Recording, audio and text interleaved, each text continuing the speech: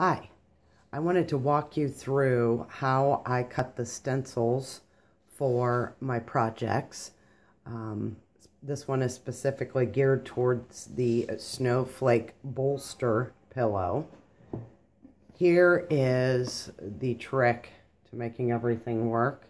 Generic freezer paper. You can get it anywhere. Um, the day I found out that I could be using freezer paper to make stencils, uh, the whole world changed, let me tell you. I take the freezer paper, get a nice size sheet, and I put it down on plywood. You could use a cutting board, uh, just a hard surface because your cutting tool will leave marks. I tape it down with just good old masking tape. And then I print off a graphic that I would like to use, a free graphic, by the way. Uh, this is free for use, copyright free. I tape down my graphic, and to cut out the snowflakes, I'm going to take my cutting tool, and I am going to cut along the dark part of the snowflake, like so. And then I am going to pull that out.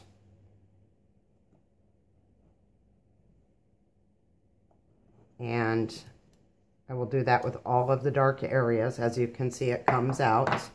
And this is the stencil that I made by doing that.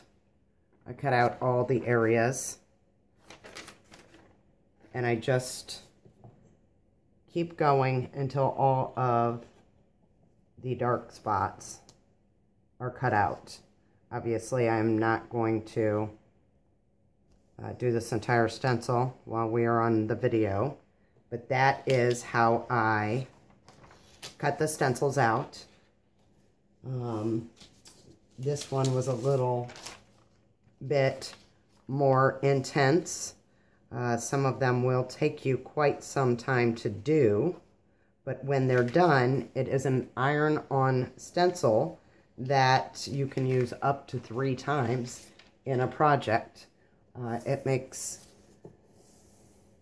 unique projects. You can pick and choose. Either you draw your own snowflake, you print it off, and you use it to make your stencil, or you find free-to-use graphics, and you can do it that way.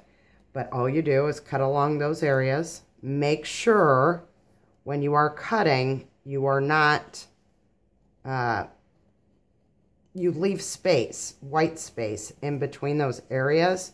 That is what creates your stencil. If I would cut this area right here too small, I wouldn't have the blank space needed to create the shape of the snowflake on my stencil, you need to have, um, oh golly gee, reverse.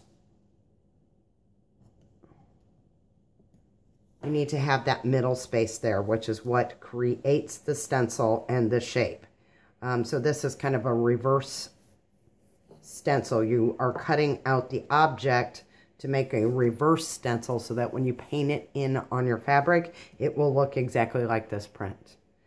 So it's not hard to do. It is tedious and it takes some time. Uh, maybe uh, set yourself up in front of the TV so that you can listen to your favorite television shows while you cut your stencils. It's not hard to do, but it does take time. I plan it out beforehand what I'm going to use, how many, if I am planning to use a stencil more than three times, I'll double up my freezer paper and I will cut both stencils at the same time. As long as you have a sharp blade on your X-Acto knife, you can cut through both layers.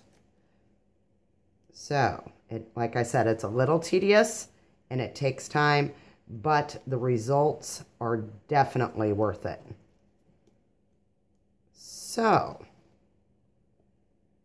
I hope that this helped you understand how to cut your own stencils better.